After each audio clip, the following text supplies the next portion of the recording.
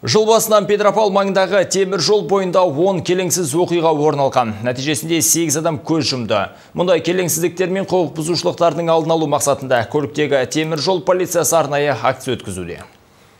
Маусымның 9 күні кешкі 6-лар шамасында Смирнова станциясындағы жол шетінде велосипедпен келе жатқан бала рельске құлап кеткен. Қасында әкесі болса да абайсыздық танытқан жасөспірім ауыр жарақат алып, жедел ауруханаға жеткізіліпті. Жыл басынан Петропавлда осы сында 10 оқиға орын алып, оның 8-і адам өлімімен аяқталды. Мұндай оқиғаның алдын алу мақсатында көліктегі теміржол сақшылары станциядан өткен әр пойызға кіріп жолаушыларға қауіпсіздік шараларын ескертіп отырады сіз білесіздер өте қазір өте көп адамдар әртүрлі құқық бұзушылық нетеді. Бұзады да оның қатарында білесіз неде балалар жарақаттануы бар.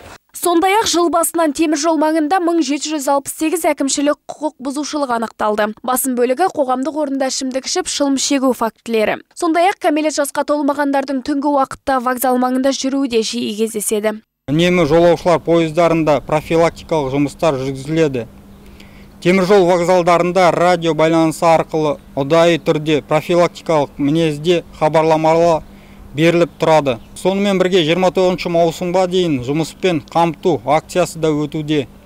Оқушылардың жазғы демалысы кезінде бос сенделіп жүрулеріне жол бермеу олардың қылмыс жасауларына жол бермеу мақсатында мұқтаж оқушыларды шама шарқына сәйкес жұмыспен қамту көліктегі теміржол полициясы өткізіп отырған шара маусымның 30-на дейін жалғаспақ. Ақбөпе тәңірберген рустам тілеужанов муниципалдық телеарна.